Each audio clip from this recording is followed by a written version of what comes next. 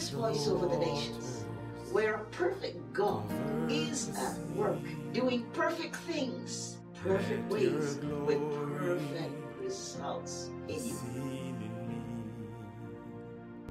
Lord bless you today as you join me and continue to join me throughout these days and months and years. God bless you for doing so. I am enjoying hearing from you. There's a lot going on. We are very active and very busy and laboring for you. Now, today, praise be to God. Uh, what I want you to do, what I want you to do is to know that, uh, before I forget to tell you, that uh, there are some things that will be appearing on our website, BethanyCovenantAlive.net. Those things will be uh, supportive of the uh, the voice over the nations. Maybe I'll have a a chart and maybe it is a little bit lengthy, it's extensive, but for sure it will be on the website. That's what I mean. So uh, you go to, you listen to the, the OTN and then you go to the website and see what's there. It's very active. We have some new things on there. A prayer advantage, which some folks ask. We want to know more about praying, so we're doing some things on that. Praise the Lord. God bless you. In Jesus' name. So, so, so we're going to go on with the God fights for you. And I told you last time that it was essential. It was essential to hear the voice of God in your ear. One thing I realized that when God speaks to an individual, sometimes and most times, no one else hears. That's for a reason. So it is not advisable for you to be speaking out what God tells you all the time. You could be talking to your enemy.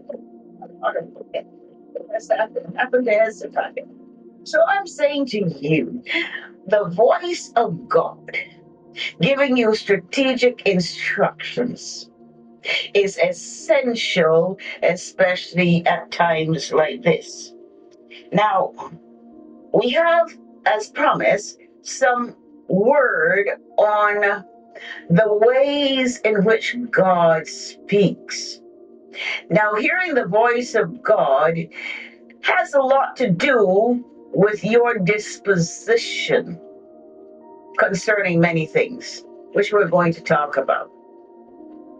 You just don't hear the voice of God because, you know, it would be nice. No, some conditions apply. And so you have to understand that this is a sovereign God who wants to have a relationship with you, wants to talk with you. You got to expect to hear from him, but you really, really have to apply some discipline in some areas. Amen. To God be the glory. And so I want to pray for you Amen.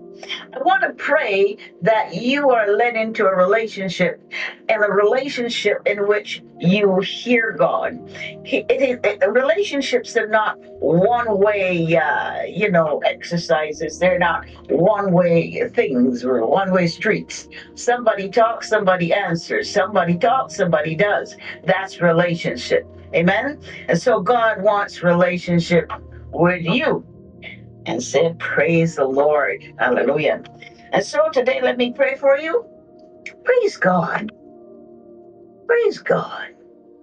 Father, today we are aware. We are aware that we need direction. Oh, how we need direction. We need direction, instruction, and that we need to be expect to be led by your spirit. We are reminded that we were created to hear and follow your voice. And that we are asking this day to restore us, to communicate once again with you. That is a whole lot of stuff in between. Now, many have been deceived and led out of their divine rights and their destinies. Well, that's because they didn't hear the voice of God. What they heard, other voices. So, Father, today in this we seek revival of understanding of what your will is. We want to know what your will is. We can only do that if we hear from you. And in much prayer and supplication, then, Father, Father, we ask for revelation as we commit to obedience and cease from every form of rebellion and self righteousness. So be it. So I wanna I wanna tell you just for the the value of telling you is that uh, uh, many churches are in a a fasting position, and this uh, this time is not really like just uh, everybody fasts in January. Uh, no, no, this is a uh, as I heard in my house, sat uh, latest down sorry, sorry, lastly. I just wanted to share that there are facts with these it's a real gift. It's also on the website. You can go there and check that out. Amen. Praise the Lord. Now, I'm going to, because this word is so compelling, and yet this word you might know very well. It is compelling. It's a little story. But I may point out some things to you that, well, you might have missed or you didn't have any need to know it at that time. But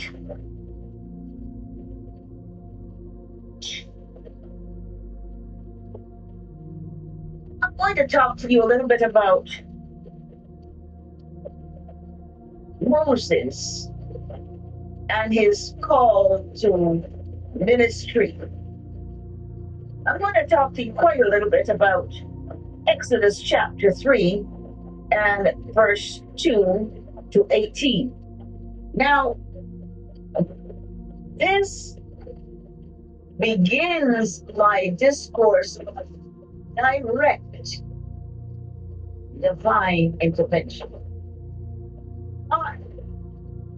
By swallows flying or birds telling a story or, you know, no, no, wait a minute. Direct divine intervention. Many of you during these series might have not realized that you had one. But when the Spirit of the Lord is speaking, you will come and say, wait a minute. I just missed this. I just missed that. This happened. Exactly. How come I was not there when that happened? And I went into this. And uh, uh, a crisis looming on the horizon. God is about to solve a problem. What? He has to call somebody in the earth to stand in the gap and get them to listen. Hallelujah. So there's crisis. And Moses is compelled to listen to God. Here's what happened if, if you don't know what happened. In Exodus chapter 3, verse 2 to 18.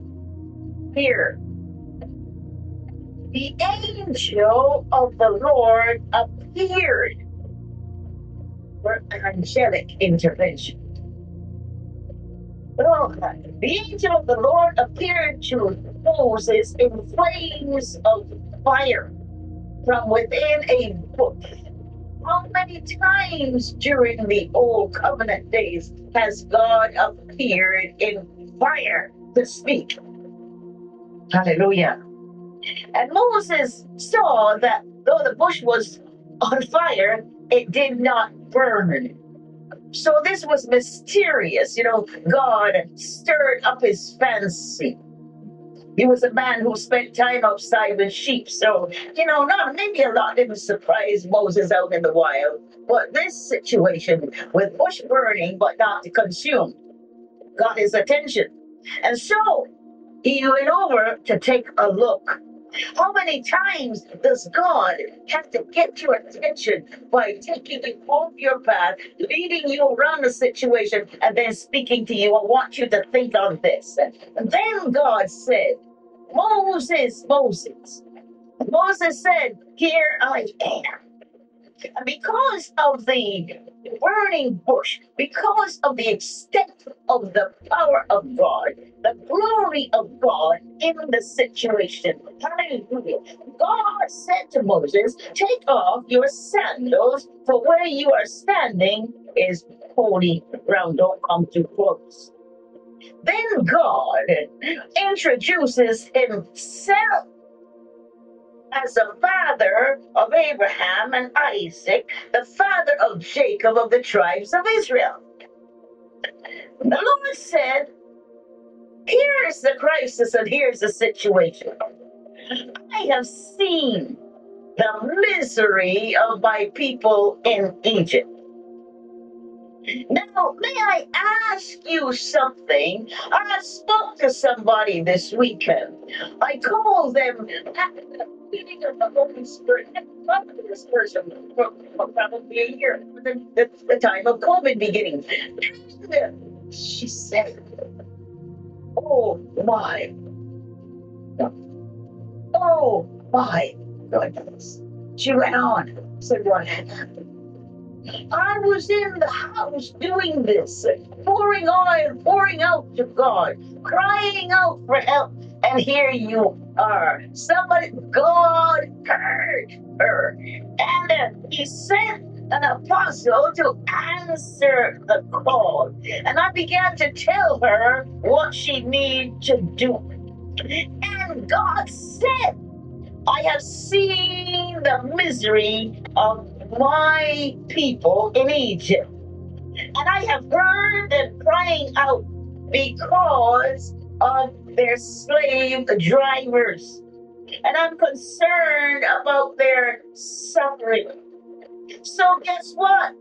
I am making direct intervention into this situation, and this is about to stop. Oh, praise God, somebody ought to clap hands. This is about to stop. Now, Moses did not realize what he was signing up for. when he found out, he began to back away. I can't speak. But it was too late, right? He was already in the fire without his shadows. Thanks be to God. I want God to draw you closer. I want him to do something. Hallelujah for you. So I have come down to rescue them from the hands of the Egyptians and to bring them out of that land into a good and spacious land, a land flowing with milk and honey. Praise be to God. Now, no, some of the apostles telling me an old story. No, not telling you an old story. As many people as there are on the planet, there is a Red Sea crossing for every one of you. Now, I want to teach you how to recognize the Red Sea crossing because there's some Red Sea rules. Amen. Praise be to God. Hallelujah. Certain conditions apply.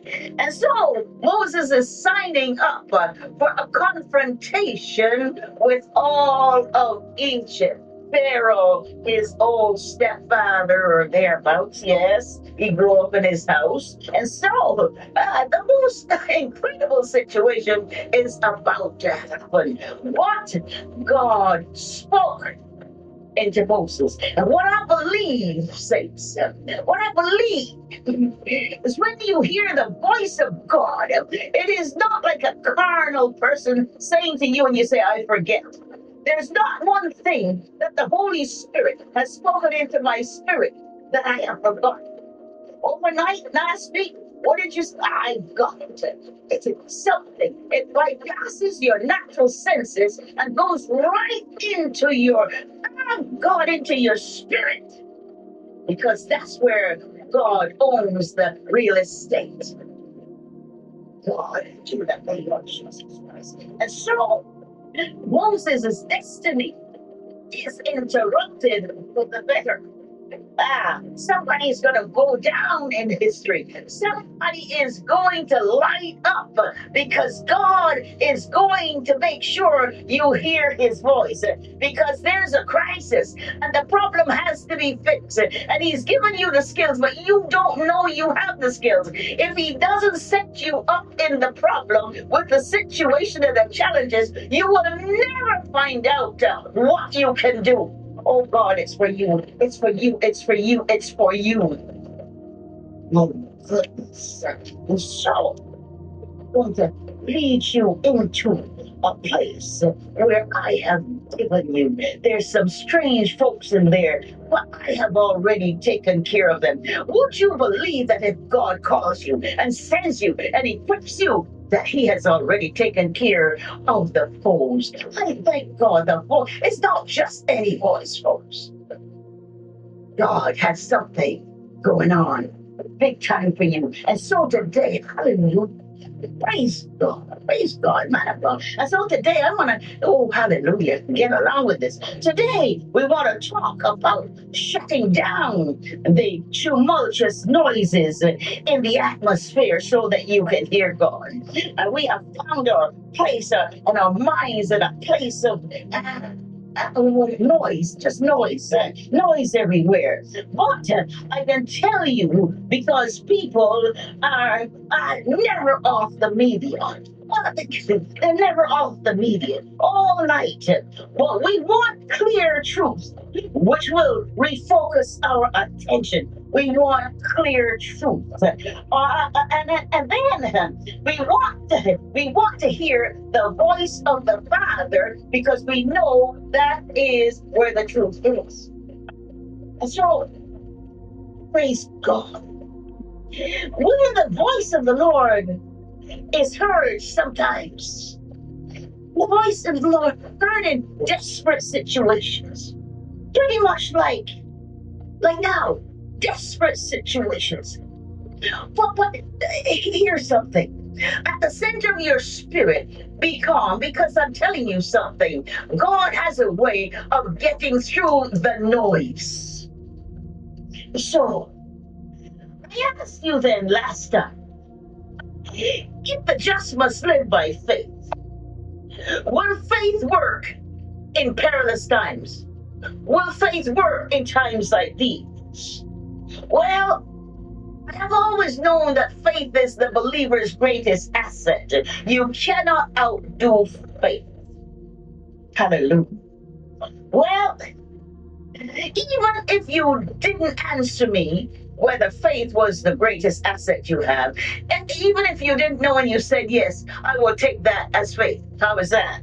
Praise God. And so, today and perhaps onward into the series, we want to assure you, not just stop, we want to assure you that your Father has heard your desperate cry for help. There is a God who will go to war on your behalf direct divine intervention. So then we will be looking at the problem from a different perspective. This God that I preach about cannot only search out and rescue, but he can search out and recover. You know, there's two stages in a crisis, right? So there's one when they think you're still alive. But then there's one when they give up hope and think you're dead. Let me tell you something. Even if it's a search and a rescue or a search and recovery, God has got this. Minister, God got this. Hallelujah. I want you to loose your faith in here. Loose your faith. God has got this.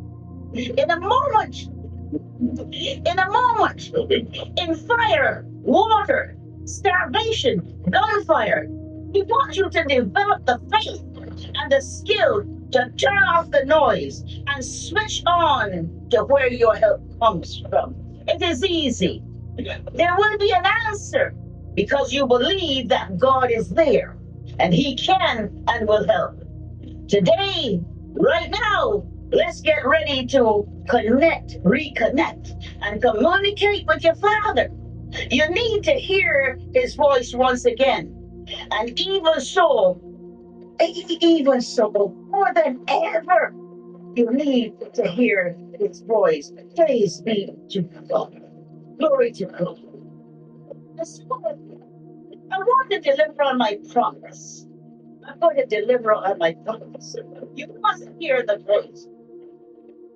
But I have prayed that the Holy Spirit, who draws us to the Father, will continue to do so. He will draw you to the Father because just like Moses was to this grace, the Holy Spirit in our time, in our time of covenant, is still drawing you to the Father. It is said in the book of John 6 and uh, 44 that uh, it is the Spirit of God. It is the Spirit of God. Of God, did Jesus said. You, don't think that one day you got up and you were desperate uh, and you ran to God. Maybe you would have run the other way, but here's the thing John 6 and 44 says, No one can come to me unless the Father who sent me draws them. Then I will raise him up at the last day. Fire that one in Jesus' name. So that you are drawn by the Spirit of the Father to the Son, that you may be saved and come into a relationship. And let me declare that now, that you, hallelujah, won't be having this conversation with me unless you are drawn to the Father. He said, The whole the same Holy Spirit with which you are sealed brought you back to the Father so that we could have this conversation. Praise be to God. Let the relationship continue. It is about the voice, folks. It is about the voice. Praise be to God. Shalom, Abasi. Remember that you were created to have relationship with the Father and that you were created to hear his voice. It has been shut down, shut off. But the Spirit of the Lord is about to reopen it. Why you can't hear? Why then can you not expect to hear? I want you to expect to hear. Hallelujah. Father, not everyone who is quiet. Wait a minute. I told you that you need to be quiet. I need to shut down the noise, etc. But not everyone who is quiet is going to hear from God. There's some quiet people planning some things that you don't even want to imagine what they're planning. And there's some people who are very aloof. They are not humble. You think they're quiet and they're reserved. No, they're proud and they're aloof. They don't want to talk to you. We tell the truth and so in the name of Jesus Christ. But you who want to be led forth by the good shepherd, ah, you must have the right agenda the right attitude of spirit. And so then, you, let me ask you this. When you have this right attitude and this right agenda, how do you approach things of God? How do you approach the Word of God? How do you act? Do you have worship with the Father? Not somebody singing in church. How do you adore the Father? How do you stay focused on the Father? How many times are you drawn to a prayer, even if you're not thinking it out? How many times? Are you ready? Because God is ready to expose some things. He is shut out worship. You will not know what is happening around you unless you can hear the voice of God. And so, what you Hallelujah.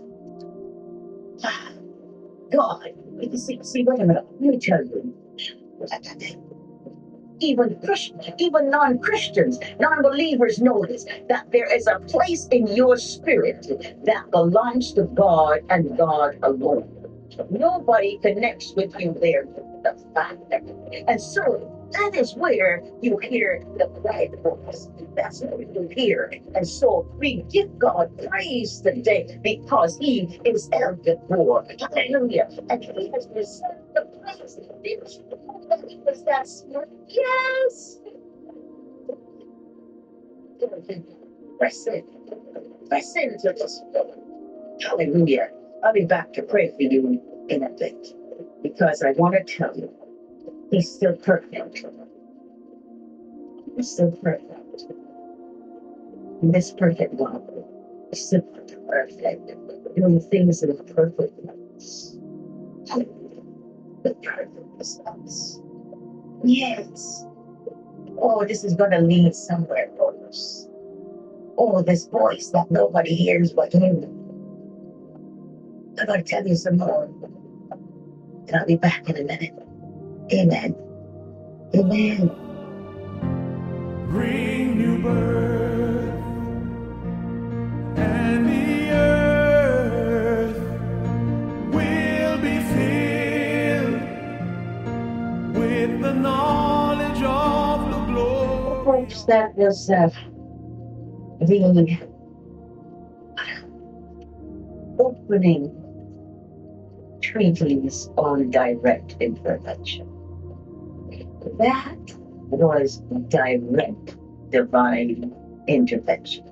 Let me tell you, there is no time for any other kind of intervention. It is a now or never situation. But I want you to expect to have this interaction with the Father. Your life is going to shift. It is very easy to shift away from the noise. You don't know it. But all you have to do is to turn to the Father. Begin to think of this awesome God. And uh, come out of the noise anywhere that you are. Think of the source. Oh, wait a minute. I don't have any money, no groceries, nothing. What is this? What is this? I can't get to the store. Shift to the source. I am Jehovah Jireh. I'm. I can heal this. I can fix it. That's what you need to do in a second. Take your attention off the problem, put it on God. Take your attention off the problem, put it on God. It works in the name of Jesus Christ. And so today I want to tell you this that um, I'm going to ask God in the name of Jesus that however He gets your attention, that He gets your attention, that He shuts down the noise of anxiety in the name of Jesus Christ, even of sorrowing because you might have lost some friends. You might have been, oh God, are we ever losing? But I tell you something. In the name of Jesus Right. God, if you are here listening to me, God has sent you into my path, and my He sent me to you so that I can tell you how to hear the voice of God.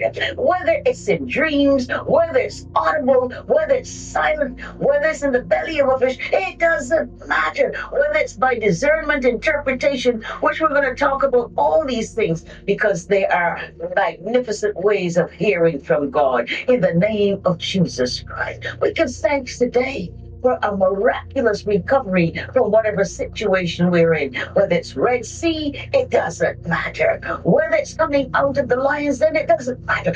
God will send a messenger ahead of himself. The Lord bless you. And I'm asking you, please head to the website and do respond in some way in Jesus' name. And don't forget, we're going to be doing some magnificent things, which I'll share with you later. You are always welcome to send us a gift, a donation, so that we can help to take care of those things that are on God's mind. Amen. To God be the glory, and I will see you next time.